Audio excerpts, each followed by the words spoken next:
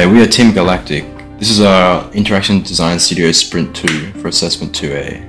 So, our product is named iStatus, and our problem statement is that scheduling softwares are too complex, and the ones that are available don't get straight to the point, and they take too long for the user to get what they need out of it. So, our market analysis. Uh, so, essentially, we focus more on messaging compared to our competitors we're better at color coordination. We don't overcomplicate things. Like a lot of products right now have a lot of colors, and it's just it's sort of too much. Like they there's too many different categories for different types of time. Like we focus more on free time and not free time. Very binary and simplified. So yeah, we just provide a simpler experience for the users. And these are our like so the competitors that we've researched mainly. So Microsoft, Google, Connecteam 20, FamilyWall, and When2meet. Uh, yeah, and so Google and Microsoft's calendar are too complex. We've decided, based on uh, some user data that we'll show you in a second, uh, they require too much more time, which is quite ironic, honestly, because as the technology develops, it requires increasingly more time to organize a schedule that's required to help you save time, which is quite ironic. It doesn't really make sense. So we want to solve that problem. Uh, yeah, this is our Microsoft example. Like there's a lot going on here. It's if you just want to know what's who's available, if or if they're busy next week or today, it's just like you know you have to you actually have to digest what you're looking at here. It's not very obvious. Uh, and here's this is an example I use. This is from my calendar with my like with my friends that I used in the holidays just to work out who was available. And the way they did it was overlapping everyone's availability, different colors. It's just a nightmare, honestly.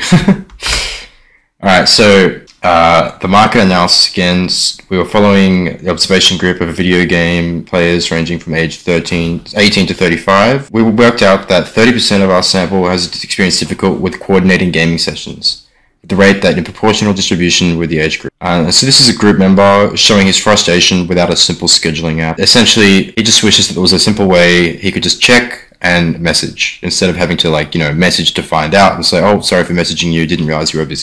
So this proves that there is an availability in this market. It, like there is a problem here that actually needs to be solved. It's not just like you know another scheduling app. They are missing some crucial factors that their users do want from them, uh, and that's what we hope to provide. So here are some examples of players manage- manually scheduling. They sort of just asking the voids, see who will reply back in a group chat. No one seems to be getting back to the first few people, and like you know they have to they have to ping certain channels and categories of servers on Discord especially is where they mostly are.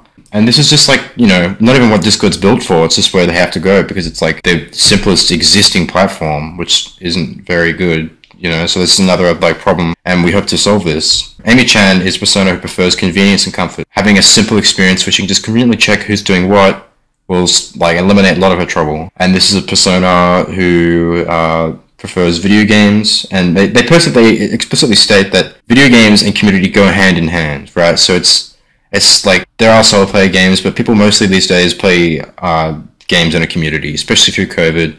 That's how a lot of socializing occurred, and uh, yeah, that like it's just they're not very connected at the moment. So this is Rebecca Ford. She enjoys getting users organized, so our product would be perfect for her. She doesn't like getting ignored this is uh, Sam Hyde. So he prefers to get things done as a group. So even outside of a gaming setting, just an office environment or someone who needs, you know, a partner with a task, it's a great product for them instead of having to message them and, and sort of work it out. He knows if these their partners. So yeah, another another type of uh, target market for us. We believe that iStatus will fulfill this market gap. We'll be able to qu- quickly plan free time schedules for groups in any setting. Our primary target is is gamers, but you know, this product has a wide flexibility and adaptability. So as an easy schedule display page, we will create this for all use for users of all products. We hope to achieve like the quickest possibly scheduling scheduling app. We're going to measure this by surveying the experience of our users. And we another thing we hope to create is a time count for designated date and time for all users of the product to achieve better user experience for the users making schedule making. Uh, this is again measured by user feedback. And another the last thing we plan to create is a device of displaying selected group status for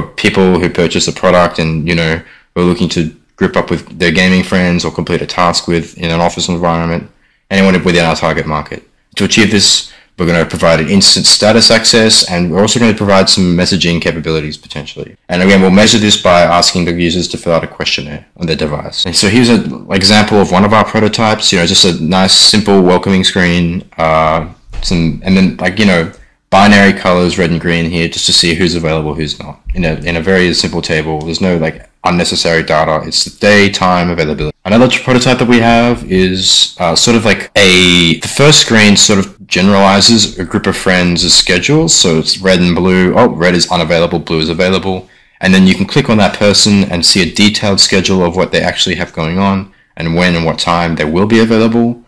Uh, so yeah, this one has like a bit of a, you know, just a general hub that tells you what's going on. Another one, uh, this one is sort of like a more social, like social media platform. You have friends added and they have the statuses and it lets you know across all platforms and apps what, what they were doing, their activities. So if you have them added as a friend, you can see what they were doing most recently. If they are unavailable, what they plan to do, you can add them to groups for different activities. So yeah, th- these are the few prototypes that we have planned out. And uh, here are the group uh, contribution tables. Thank you for listening.